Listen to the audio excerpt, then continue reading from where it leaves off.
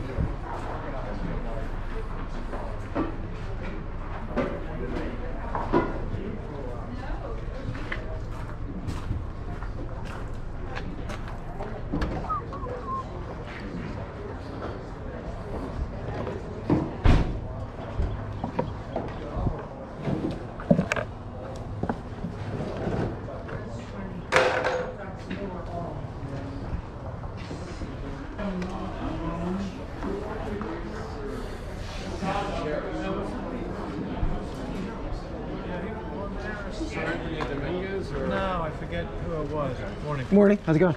Hey, Bruce. How you doing? Um, anyway, I feel like I feel like Compton is that way with the line. and With, um, like, I wonder how good this one. Here, not a good fielder. He doesn't hit for average. He doesn't, he get on base. He's a home run hitter. And I got a feeling he's just gonna be stuck with this this look for a while. How much is the? I'm sorry to interrupt you. How much is the jersey? Um, I had 50 on it. Fifty. It's Parkside. It's like right. Yeah, yeah, it's a, Yeah, it's a Delaware hit County. piece. Yeah. yeah, yeah. I go, f- I, I'd go 40 on it if it could be good. All right, I'll take it for forty. Okay. Yeah. It's cool since it's local for me. But like they, they had Bailey Falter. I'm still trying to figure out what they think is so good about him. You know, they say his release point, how, how far he is, is deceptive. deceptive. Yeah, deceptive. but they by the time they go through the second or third You time change. of You change on that? If not, I could bring it. Okay. they, they they figure him out. See how he falls apart in the fourth and fifth inning. Great. Appreciate it. Yeah, Thank you. thanks. Appreciate it. So it's at high school, Parkside. Uh, it's a it's a little borough next to Yeah. Chester. Yeah, very small section between Chester and like uh, Media or Brookhaven. I have my I have one junior varsity jersey from Thanks again. my high Thank you. school years. None of my varsity was Excuse me.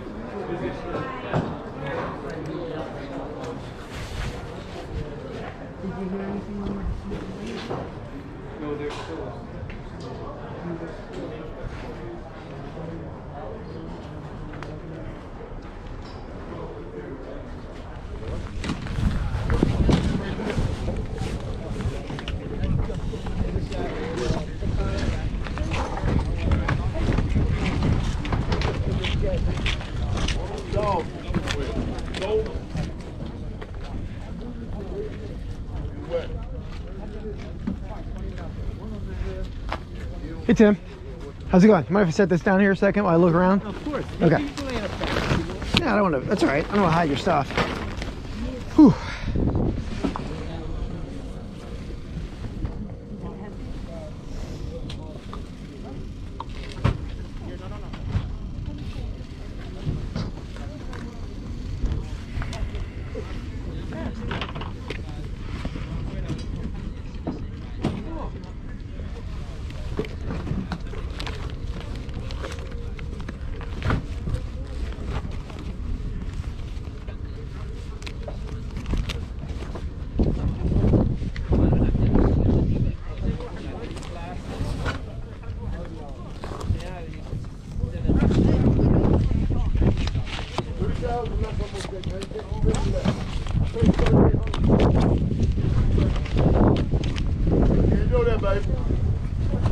That's how you go.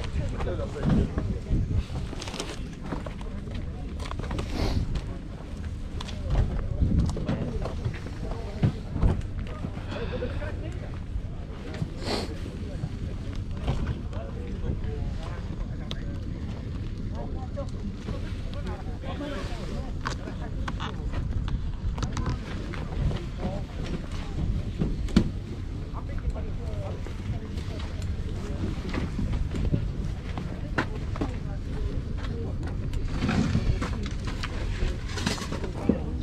At now, Keith? Just uh, are you just in Renninger's now, or you have other? No, I'm in uh well Adams Antiques. We have four booths in there. Okay, We have one booth in Mad Hatter in a few cases. okay, And then there's a one across the street from Mad Hatter, Adamstown Antique Mall.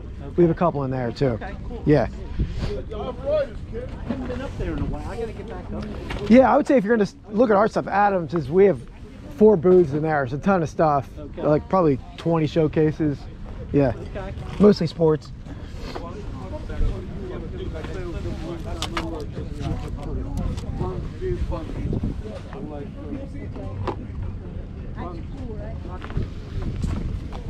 What do you get, Tim? What do you ask on your uh, the Eagles nodder?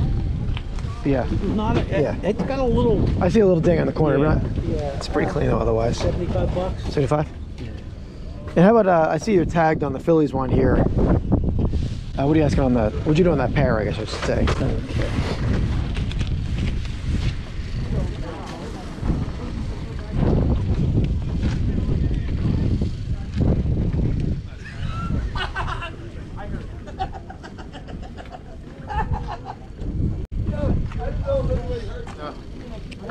One sixty on the pair.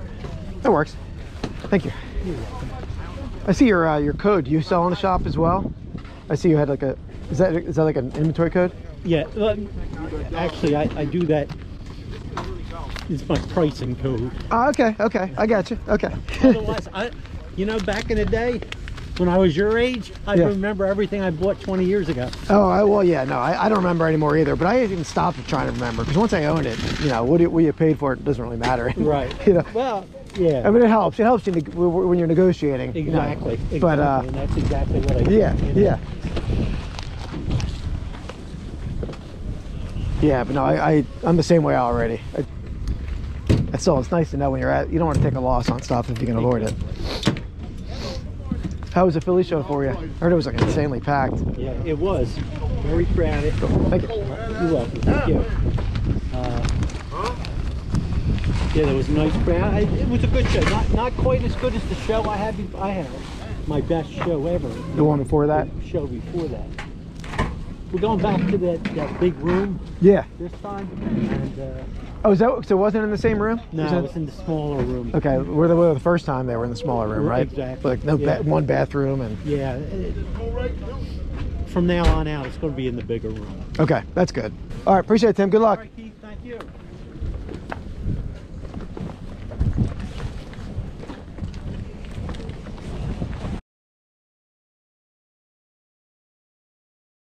So the first thing I picked up in this video is this great 1920s baseball jersey.